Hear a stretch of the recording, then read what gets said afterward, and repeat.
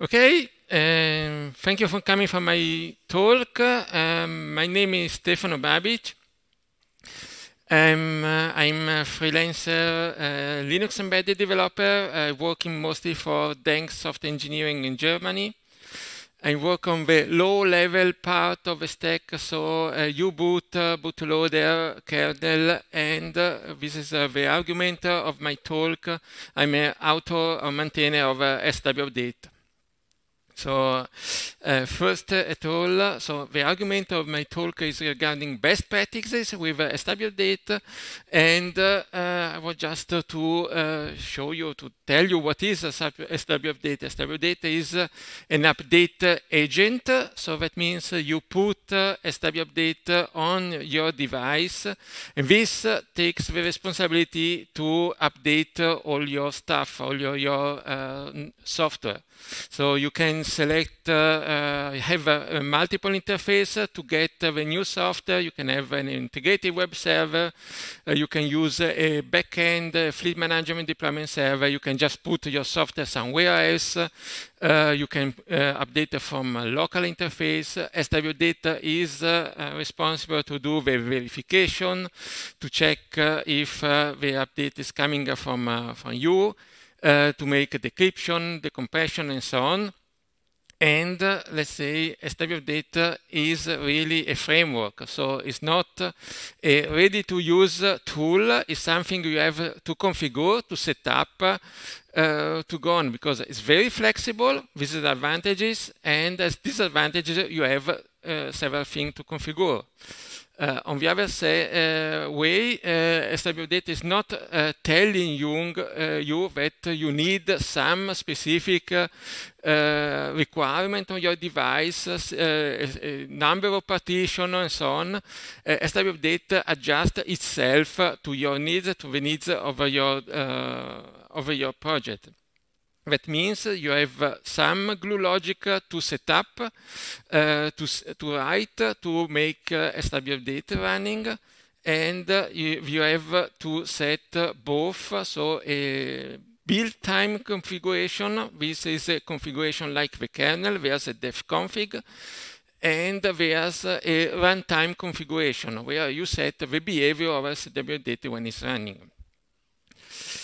Uh, so there's several things to think to do, and with uh, uh, another specific part in SWUpdate, you can have also have just a single file containing everything from bootloader, kernel, or even software for other devices that are connected to the main device, all together in one SWU. Uh, you can, at the end, with just a single file, update a big family of devices. So there are a lot of different use cases, and that uh, means that you can do a lot of uh, stuff in the right way, but even in the wrong way. When it's in the wrong way, uh, you can get some issue because your update can be not more reliable at all. So uh, I write uh, some rules. 10 is a good number. So 10 rules uh, regarding SW update that I follow myself when I have to integrate SW update in a new project. So first, some, some of these rules are really independent of SW update, are good rules for any very data. Uh, for example, first rule, write a concept. Take it easy, take your time, don't start to implement anything. Write a document where you find your goals and how you want to provide an update for your device. Generally, what uh, uh, any of us as developer uh, sees there's a product manager. Product manager uh, collecting uh, some uh, good words around the internet from Delta Update or whatever.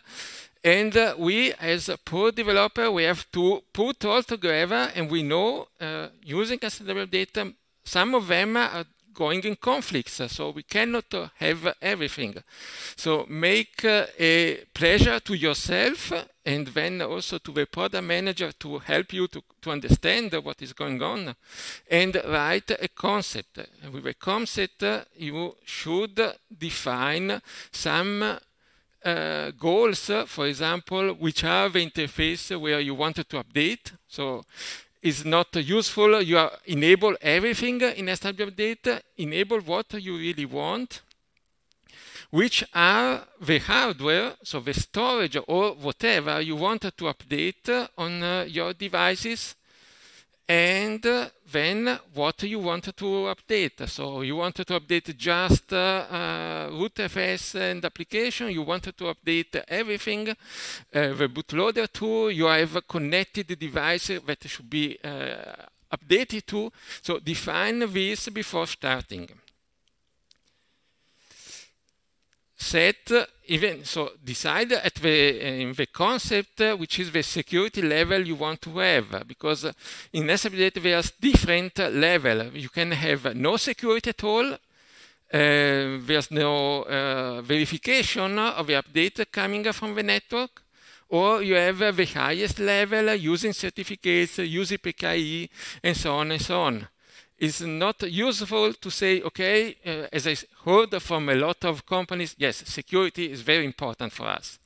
And then uh, after a short time, they decide, yes, but uh, our developer needs more time, we have no time, or uh, the uh, creation of a certificate is going through a big process inside the company and we don't want to have it. So check at the beginning which is the level of security you want to have. In, in a SWUpdate, you can have uh, from single and simple uh, keys or certificate.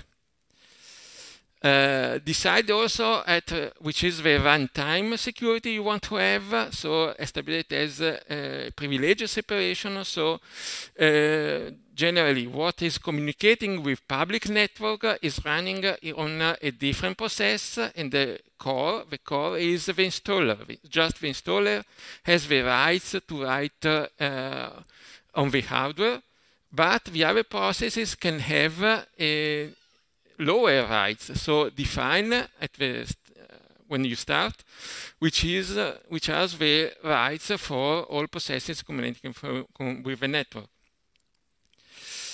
Uh, do you need uh, IP property for your device? Then decide to have encryption. Uh, this is important to do at the early beginning because uh, else you have uh, incompatibility in field. If encryption was not added with the first delivery, of course, you have to deliver some new software that is not encrypted. And then you have to decide where you put the keys. So yeah, a lot of important things that should be decided at the early beginning uh, before you starting with uh, a of data and another over data. And with a in this case, so if you write the concept, you don't do some big mistake. I got from mailing list uh, several people. Uh, we know uh, really if we have a Linux distribution, distribution we have our uh, rootfs on one device. We are not trying to uh, replace at the block level uh, the software. So because clear the Linux will, our system will crash. it's not so clear when it's used in uh, over updater because uh, there are several people doing this. So they are running on every device and then they are changing, uh, writing directly on the block device where the rootfs is mounted. This should be, should be seen when a concept is written. Rule number two, uh, check the risk. So examine the risk. There are always some risk, but uh, you can better evaluate. For example, uh, what I uh, I found, you have to check which are the single point of failure. Single point of failures are artifacts that uh, if uh, when uh, they are replaced uh, and uh, there, for example, a power cut, let the system in, in a broken case that can be different. For example, if a bootloader is not duplicated in some way, uh, the, the board is completely broken, or you can have, uh, for example, some microcontroller where there's just one software and your system is up again, but with less functionalities. Is a different kind of risk because in the first case the device is broken. The second case you can still uh, resume the device but uh, with a new update. So you have to evaluate the risk and to check to decide if uh, the risk uh, is worth for example, uh, a customer of mine said, uh, we know about the risk, we have just one bootloader, but we want to have the possibility to replace the bootloader because if something happened and later happened, uh, we can replace the bootloader without sending the device back to the factory. This is very expensive. Also, to send a serviceman in field is very expensive. So much better to say, okay, in some cases it was broken, we send a new device to our customer, but it's cheaper. Uh, in case, but in case you have found the single point of failure, uh, of failure uh, you have to disable streaming. SWUpdate has the possibility to stream everything with, with zero copy. So nothing is copied temporarily. Everything is done uh, chunk-wise, so everything is uh, put in a buffer, is decompressed, decrypted, verified, and so on. But not do it if you have found a single point of failure as a bootloader because if, net, if, a connection is broken, you have just written a part of the artifact and the device remains broken. In this case, you can at least minimize the risk because the time window when something can happen has reduced. Just, for example, in case of a bootloader, erasing the flash and rewriting the flash with a bootloader. So just a question of second. Uh, not uh, only in SWUpdate, data, if you found, if you have a, a single point of failure, uh, enable versioning. So SWUpdate can detect if an artifact has the same version of an artifact installed on the device. Uh, please uh, enable this. Uh, there's some flags to use in the SW description file that describe the, the your release. Uh, this allows to uh, provide a, a, release with everything, also with a bootloader or whatever, because uh, um, you don't need a second file just for the bootloader or for some other artifacts.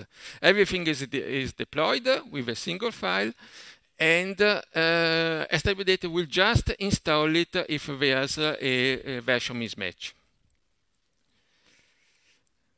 Rule number three, uh, you try to reduce dependencies.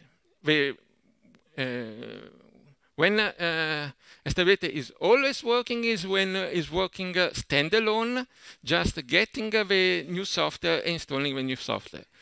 Uh, in a lot of cases, uh, really, uh, this is not, uh, uh there's other requirement, the uh, customer requires to have that everything is done by the application. So SWUpdate is running, but if it should be installed or not, should be decided by some other application. But the application is generally complicated, so maybe someone should should log in via a session manager. Then there's the request to other task, maybe asking to an external server, then the calling other task, and so on and so on. At the end, just to send a trigger to SW update. This does not work because uh, your application is complex, so is updated very frequently and there's a lot of cases where this procedure does not work. So at the end, you have that uh, SWUpdate is running on the device, everything is nice, but your application crashed and you have no way to update the board. So at the end, your device is brick. So if you can, don't do it. Uh, even in deployment, have a customer that do, uh, did in this way uh, but uh, also had a problem in development because, of course, uh, they do a lot of uh, bugs in the application because it was in development.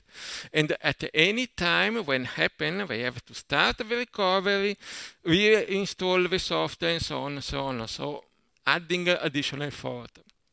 What I uh, suggest is always to have a plan B.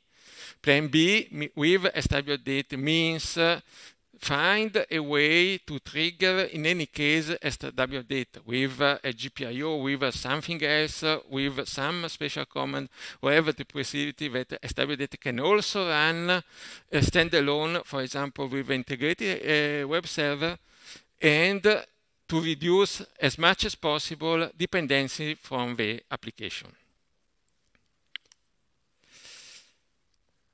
Rule uh, number four, uh, please check uh, the build configuration. So SW Update use kbuild for configuration.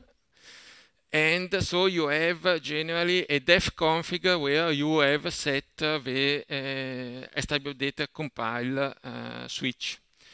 Uh, check and set just what you need. It's not uh, useful to enable all possible handler. In SWD, handler is the part of software responsible to install an image of a specific type, for example, UBI volume or a MMC partition or whatever if you don't have some kind in hardware, don't enable. Don't enable uh, MTD and UBI if you have no uh, MTD and UBI on the board. Check uh, the security. The security means uh, how verification is done. There's different uh, switches uh, for example, for certificate, you can select uh, if cert the uh, certificate when a lapse should be considered valid or not. this depends, of course, of your project. Please check all of them. Uh, what I also suggest in the configuration is always, even if uh, just uh, is not mandatory, always to enable the hardware software compatibility. This is done by this switch uh, even if you say, okay, now I have a board, this board uh, is our hardware, we want to change this hardware, you don't know. Maybe in future you need something else uh, or just a, a, component has reached end of life, you want to change this, the board is not 100% uh, compatible. If you put this in uh, SWUpdate, even if you have hard-coded the name and the revision of the board, you are prepared for the future.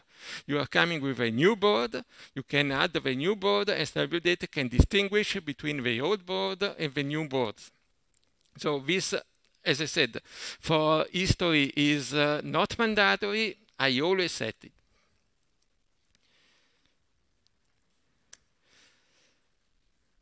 Next rule, for me quite important, is uh, don't abuse uh, of shell script. I know that uh, for um, software developer, uh, when we say don't use the shell script, it's just to say uh, stop breathing.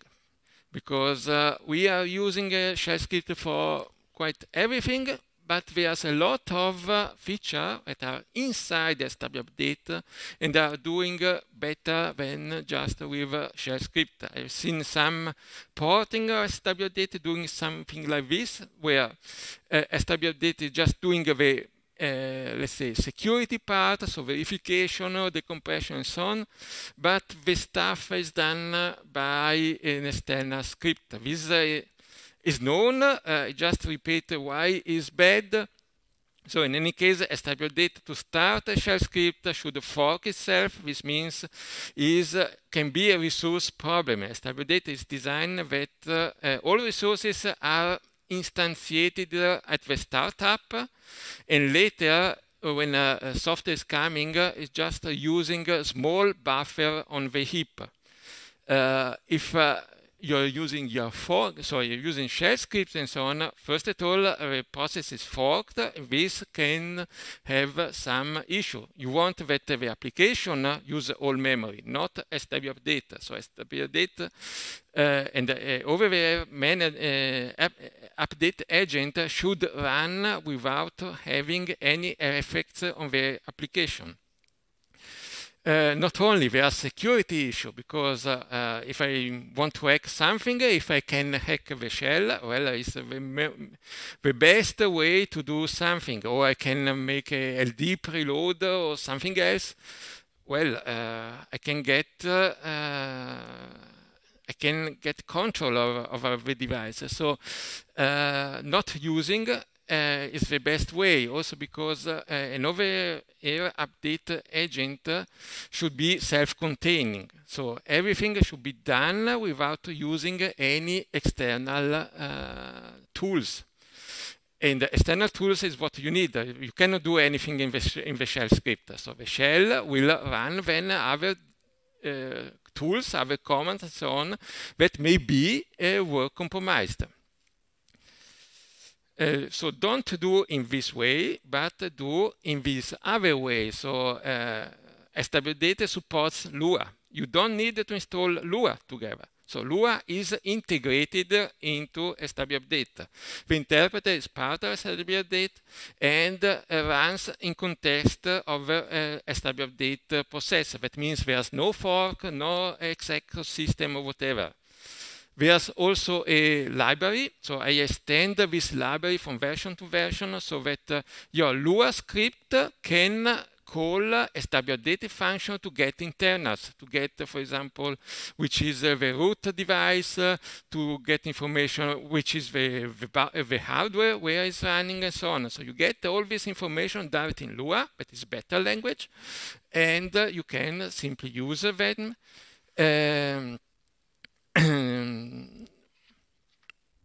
of course, uh, even if you use Lua, don't use Lua as a wrapper because Lua is also, as Python, has a possibility to call OS and then run an external script. Then you have lost the advantages of Lua.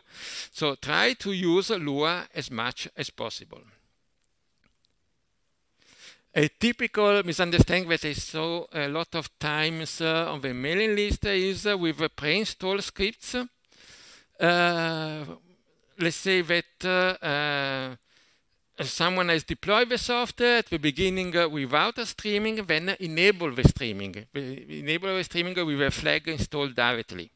When this is set, the stream, the artifact is installed directly without any copy. This does not work in case you set a script, a shell script with uh, for pre-installing because there's no rule in SW update where the artifacts are put. So you can put, uh, the, the, SW is really a CPIO archive, and you can put the artifact in any order. And of course, when something is coming on the stream, this should be installed. So you don't know if, for example, a rootfs is coming before the script, later the script, maybe the script is the last artifact in the whole chain. So uh, SWUpdate cannot run a pre-install script because maybe the, the script is not there. So don't use this if you need uh, to pre-install something, but do in this other way. So you can use Lua uh, in the SW description, there's a part where you can add your uh, Lua code. If you add this, you can have a hook at the artifact level. So you have also a better granularity because for each artifact, you can call a different Lua function. Nevertheless, activating streaming is a good thing, is a good thing, and should be used in uh, any case where you have an AB concept, when you have two copy and you have a running copy, a standby copy. In this case, it's always safe. You can enable. You have some advantages. So, of course, you use less memory because there's temporary uh, space required. Uh, this work also if a file system where you the temporary file, uh, copy is done has some issue because uh, really everything is done on uh, on a heap memory and uh, uh, it's also an improvement for security because there's no time window where some files are put somewhere on the device. Everything is on uh, SW update heap and is buffer, so a buffer is work, decompress, decrypted, whatever, and then stored on the destination device. There's no way, and this address is changing because each time SWUpdate is allocating a new buffer. So this address is changing, and also for the attacker, uh, it's very difficult to find a way to change something. Uh, next rule I suggest to enable checks in SWUpdate. So uh, it's not mandatory to have hash check for the artifact if you are not using sign images. Nevertheless, I suggest uh, always to be set. If you use Yocto and so on, the hash is added automatically. Uh, because uh, the, the, to check if an artifact is corrupted, there's still a CPIO, CRC, but uh, CPIO, CRC is very, very weak and uh, does not uh, help or uh, be sure that your artifact is not corrupted. So in any case, the hash should be on, even if it could be disabled and uh, always set in the SW description the type attribute. So there are some default also coming from the history. So if the type was not set, there are some rule to take one of the possible uh, handlers. Uh, but this can be confusing. So uh, just uh, all, and you can have some uh, problems. For example, if the throw handler for MMC was set, it try to install on a UBI volume, this will be successful. Of course, at the end, nothing works. So always set the type in SW description. In case uh, streaming is not always set, uh, there's some rules in SW, in SWUpdate regarding the order, so how images uh, are installed on the device. The better thing is to make the installation independent. So each artifact should be installed independently from each other. So not depend on the installation order even if SWUpdate follow a rule, but not depend on this. Rule number eight, uh, SWUpdate always need to communicate with a bootloader because the bootloader knows or should know which is the next image or next software to be started. Uh, so you need a good interface between SWUpdate and the bootloader. And this is done using a bootloader environment. Uh, one point is uh, what happens if there's a power cut exactly when the, uh, the environment is updated. So uh, supports different uh, uh, bootloader. For Grub, there's no this redundancy.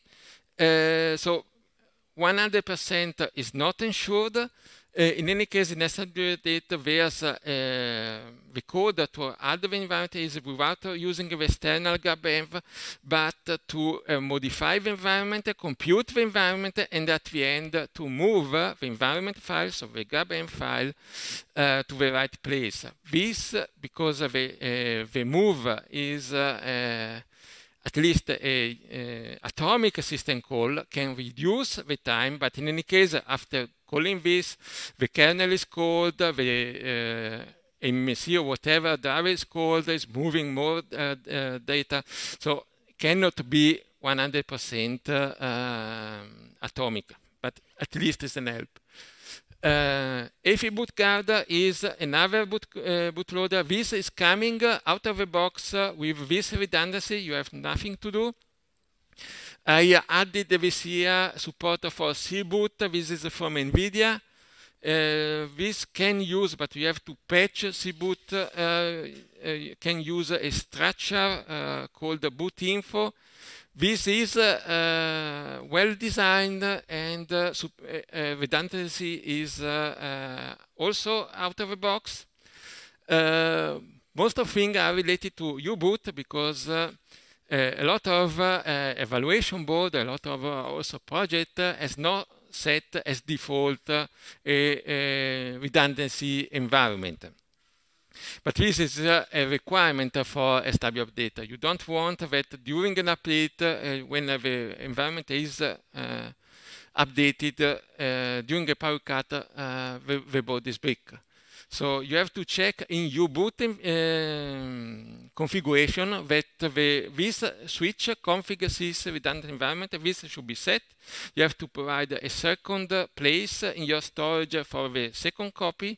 If you do this and you set accordingly the configuration for uh, bootloader, then you have 100% a safe update of the environment and nothing can happen. So with U-boot and SWD use the same algorithm, there are uh, two copies uh, of the environment, so the new environment is uh, calculated, is written, and the worst case is that two valid environments are on, the, on the system when a power cut occurs. Uh, that means the worst case is the old software is running, but not that the board is weak. Rule number nine, uh, plan rescue. So uh, I heard or I read from uh, mailing list, uh, if we have an AB concept, so we have a running copy and uh, we have a second copy where we put uh, our software, we have really two copies and we can switch from each other should be reliable enough. This is wrong.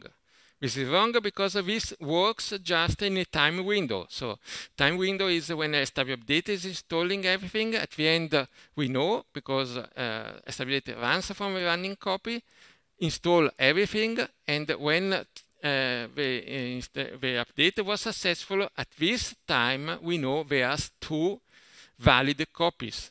But what happens, for example, after days, after months, or the I don't know.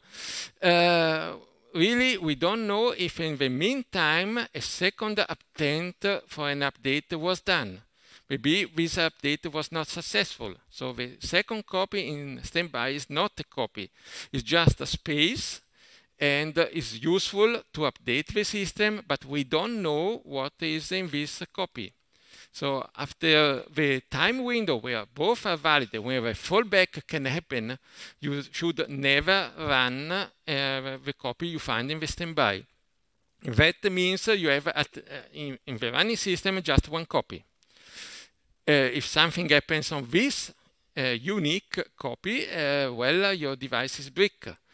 And uh, so my, my suggestion is to have a recovery. So SWUpdate has a, a way to put uh, uh, everything on a RAM disk in a small system, in a small Linux uh, minimal system, and then you can put on your device. So if uh, something happens, you can say to your uh, end customer, uh, yes, really something very bad happened, but you can still, for example, push a button, uh, do something and check, and you can restore yourself uh, the device. This helps a lot, uh, at least um, for my customer, because if something happens, well, the device is not sent back for reparation.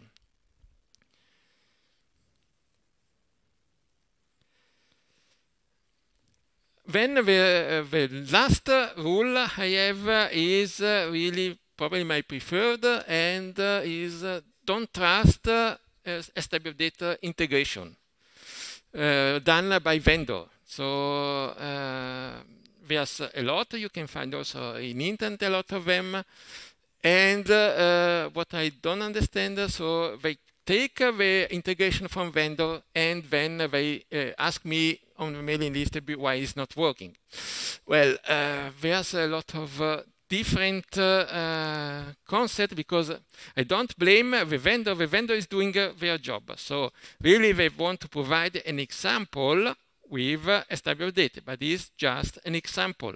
Should not taken as uh, truth and uh, just to copy in the final product. So the integrator should not do this, should check this. For example, security for vendor is not problem. So they want to, to sell their SOC, their SOM, and uh, if there's security, there's no security, it's the same. It's just enough that once works. Uh, same for reliability. Is is not so important for them. Uh, so the, the, the important thing is really just to understand what is uh, doing and don't take uh, the uh, integration done by vendor. I have an example. So as I said, I don't want to blame any vendor. This is just taken from uh, internet, from one of the vendor. They in just a simple, because this is very simple, they are just one artifact, they want to update this single artifact. There are several issues, several issues for reliability. Uh, security is not set, so we cannot say anything, uh, but also it's not reliable. Why? So first of all, we see they did, they did as uh, I suppose, so uh, SWUpdate uh, feature are not taken. Really, they are just uh, a shell script doing uh, some magic thing. Other thing, they don't update the file system as image. They take a tarball and they install the tarball somewhere on, on the system. This requires that the file system is not corrupted. So they will try to do this in some way, but it's not uh, the logical thing. The logical thing uh, is uh, you create uh, your, your software with a specific file system, for example, ext4 image, and you install this uh, ext4 when it's completely independent from the file system you use. If you want to change the file system, you can do it as well, not in this case. The best is with the, the, the shell script, there's a lot of things that uh, are not working. For example, they try to understand from shell script which is the root device. This work in simple case does not work always. As if you have an encrypted file system, for example, uh, you have a, a, DM mapper. So you have uh, a logical volumes and the root file system in a logical volume. But you don't want to have this. You want to know uh, if you have this logical volume, where is uh, the device and the partition where this uh, the software is installed, because this is the part in testing to be updated. So this uh, works for simple cases, nothing more. Uh, SWUpdate has the possibility to just detect and to uh, show you which is the device independently and using different uh, sources, so different uh, using the command line, checking the partition, checking in the sysfs, and so on and so on.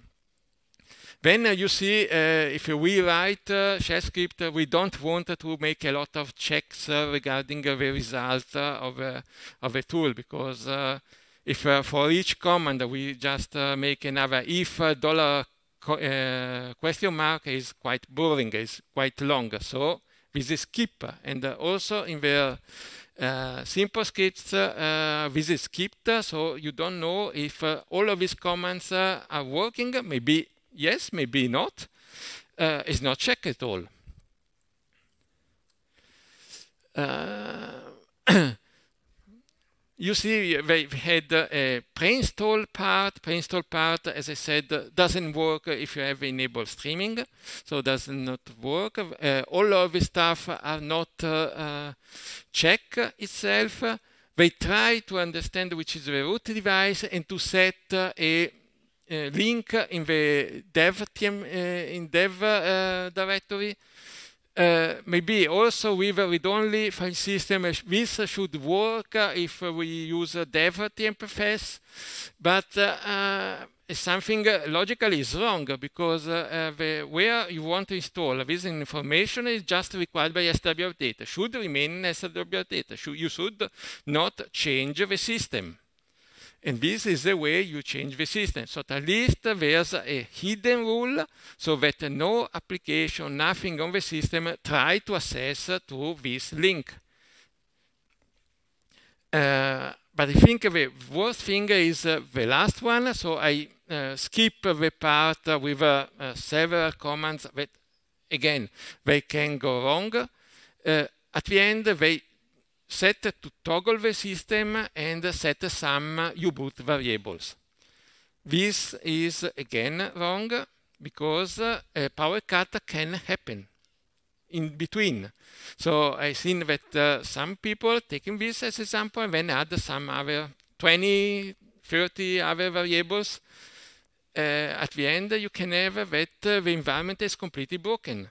and the device is not running again. Uh, if it was so simple, you have to think about why stability is doing much more complex. By stability is not doing this with, in this way. Stability takes all variables, put in an internal dictionary, and then also after the scripts are running, so really as last step in the update, the last step of the update, the new environment is computed. So there's no, nothing in between. There's old environment and new environment. And this is written then at once. So there's no way at the end to have that uh, your device will run with a, a, a broken environment. Will, will run with an uh, old environment if there's a power cut exactly in that uh, in the second, or you have just the new one, but nothing between that can break the device. Okay, this was my last rule that I put, so 10 rules. Uh, questions?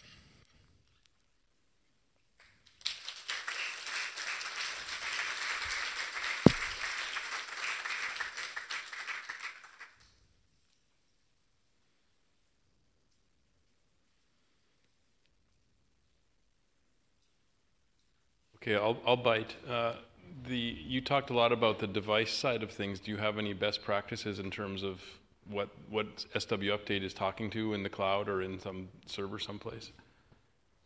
Sorry? What, you talked a lot about the device side of, of SWUpdate. I'm wondering if you have any best practices for what SWUpdate is talking to in terms of where it's getting its updates from, what the cloud service might be that it's talking to? Um, not not uh, really, because uh, uh, established there's uh, different uh, uh, way to communicate with the cloud, and for example, with a, a hawkBit backend, and the hawkBit backend has some strict rules. So really, you have not much a lot to configure with with a hawkBit. The only thing you can set uh, if uh, the device itself uh, is verified by the backend server or not. Uh, in most cases, not uh, it's not done, but there's no a lot of configure.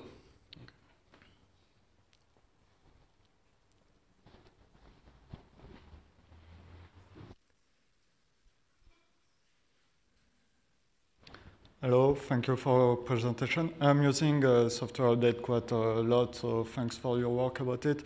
Um, I have a question. Um, in fact, uh, I am in a context uh, where we are using a lot of devices in a local network, and because a lot of these devices are uh, behind uh, LTE uh, connection, so we want to reduce the bandwidth there is a way with software update, or it's planned, I don't know, uh, to use a specific devi device as a local distributor for other devices which are in the same type, or just to have only one copy to download from internet and then it can notify to other devices, okay, I have an update for you and you can download it from This is to update uh, a set of devices, right?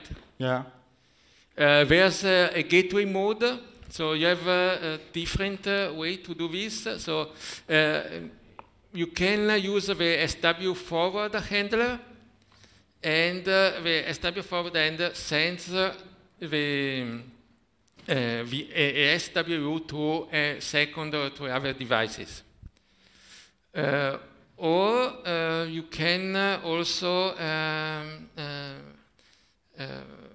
I, I, had also a case where I have uh, um, multiple instances of SWUpdate on the same device, running as a gateway and running as device. And when it's running as a gateway, uh, just communicating with a, a, network of other devices. Of course, each of them should have a SWUpdate uh, to send uh, the related part. Okay, thank you. Uh, yes, uh, I am currently busy with a software update using OS uh, 3 mm-hmm. for minimizing the size and only giving out the difference yeah. between the current firmware and uh, the additional one. I am sort of aware that Btrfs could do it too, but are you aware of other systems that are uh, sending only deltas? Usually, you have also people saying, don't send deltas because you never know from which status, which uh, version of the firmware you start. And so simplify the, the whole system by always sending everything. But or Flash begins to be big, it mm -hmm. allows, well, it, uh, it creates delays, a lot of uh, mm -hmm. space on the servers, etc. Um, SWUpdate has a different approach. So as uh, the possibility to have a delta update, but uh, the difference is uh, that uh, the delta is not computed from the cloud, it's computed from the device itself. It uses the zchunk project to compute the delta. The thing is, uh, with a standard SWU, just a header in this format, in this chunk format is sent. This contains hashes for each chunk. The device itself compute the, uh, check the, the starting point, so the, the running software compute hashes for everything and understand what should be downloaded or not. The advantages is uh, is independent from the version you are starting. Because you have 10 different devices, 10 different versions, each of them will compute a different list of uh, chunks to be downloaded. Uh, never matter, at the end, uh, you will get exactly the same version on each device. For this, you have to enable the Delta handler in SWUpdate. Uh, I just uh, push uh, recently support uh, in meta-swupdate in uh, OpenEmbedded. Uh, and for Debian, I wrote the support in the SWUGenerator to build the SW.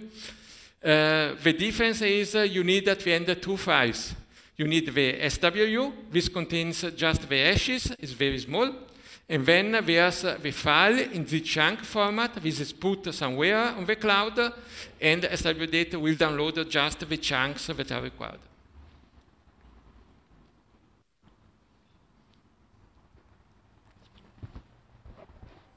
You mentioned uh, uh, using SWUpdate to update coprocessors or uh, FPGAs or something. Co uh, coprocessors, you mean? Yeah, so microcontrollers, external. Ah, okay, yeah. yes. Uh, if I do AB and I fall back to the old rootfs, I might want to restore the old firmware image for the microcontroller. Is that something that SW updates can handle for me, or do I need to script that myself? Um, uh, really, so if you uh, want to have uh, with fallback, that means the microcontroller supports this. So my microcontroller is just not booting in a bootloader. I have just one copy of the application. I have two copies of the application. Uh, so you have like a remote microcontroller and you have access yeah, to or connected to I2C or connected yeah. to uh, SPI, UART. Yeah. Is the way. Uh, uh, what uh, is doing, uh, so there's a handler for the microcontroller. Some of them are mainline, some of them not because of what written in Lua. And like part in Lua is not covered by GPL version 2. And this is the way where the file is transferred to microcontroller, so putting, generally putting in bootloader mode, transferring the file and waiting for ACK from the microcontroller. But the fallback, uh, so uh, to have the fallback to the previous version means that uh, the microcontroller supports two copies of the software. Not necessarily. If you fall back in the main system, you could say, I want to update the coprocessor to match my own version. So you, yeah, you can do this. Uh, generally, it's done with the standard scripts. Yeah. Okay. Thank you.